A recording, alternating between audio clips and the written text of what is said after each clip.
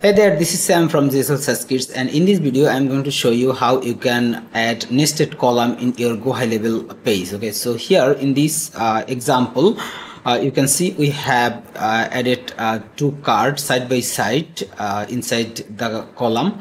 And again uh, we have also added uh, two images here side by side inside the left column okay? So basically this structure is a two column row and inside that two column row I have added uh, another row okay? Which is actually the nested row inside uh, the column okay?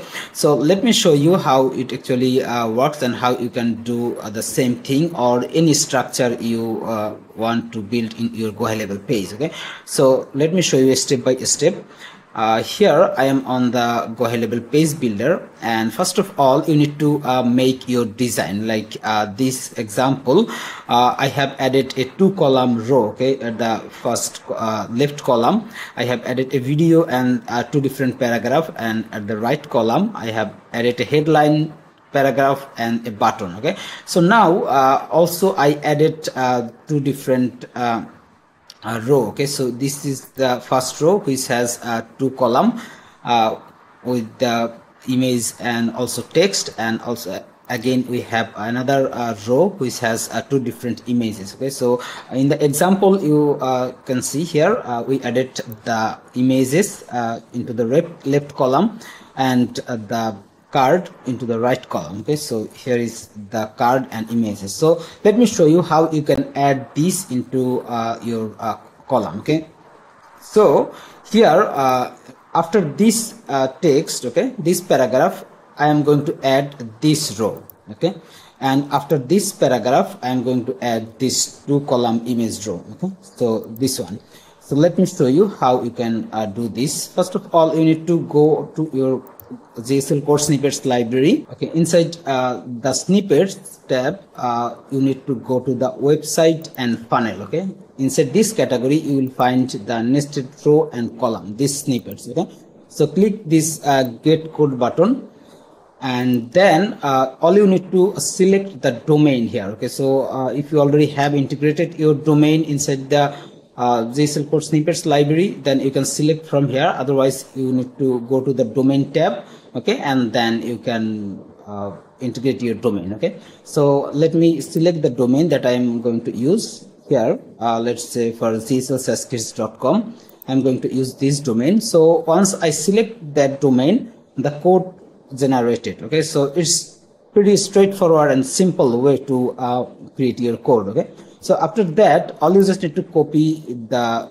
but copy button to get this code copied. And then uh, go back to your uh, go high level page builder and add a row okay? And then inside that row add an element is the a custom code element and then open that uh, code uh, editor okay? And then paste your code okay? That you just copied from the uh, GHL code snippets library okay? So I just copied this code by clicking this button and then added the code inside go high level page builder okay? So now uh, you need to do a few more things okay? So first of all you need to decide uh, where you actually want to uh, show your uh, nested uh, rows okay? So uh, in this example i'm going to add the first row into here okay?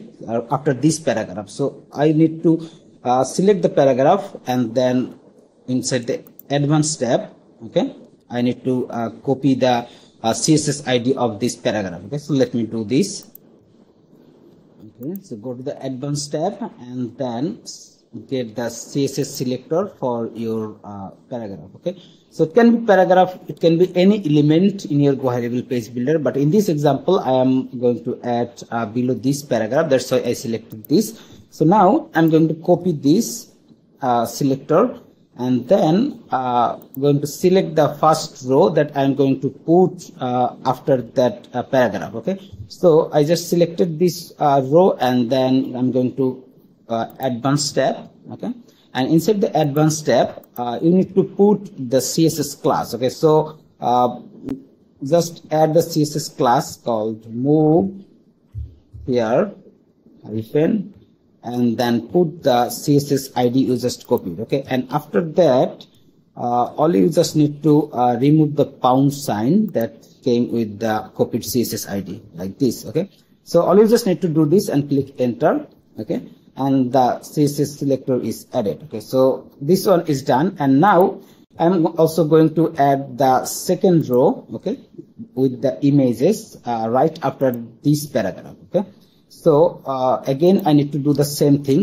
Selected the paragraph go to the advanced tab and copy the uh, css selector for this specific paragraph and then I'm going to add the CSS class to the row which actually I want to move uh, inside uh, after this paragraph okay? So let me select this go to the advanced tab again okay? So just uh, add move here hyphen and then paste your uh, paragraph id okay and then again delete the pound sign okay so if you keep the pound sign then it will not work so you need to make sure that you have deleted the pound sign from the selected ID. Okay, so after that, you just click enter. Okay, so we're all done now. Okay, so it can be uh, work with any uh, uh, row or it can be your column or any element you want to move uh, from one uh, uh, section to another. Okay, so this way actually the nested column and row will work. So you will design everything inside Go High Level and then by using the code snippets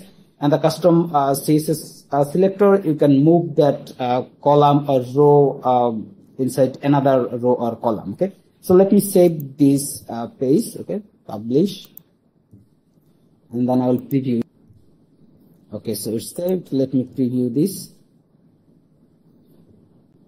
Okay. You can see this uh, two column uh, row. Which has the card is added after the paragraph and then the images also added after the this paragraph. Okay so this way you can actually uh, add any uh, rows inside another column. Okay you can make this nested uh, design okay to make your layout good looking. So this is how it actually works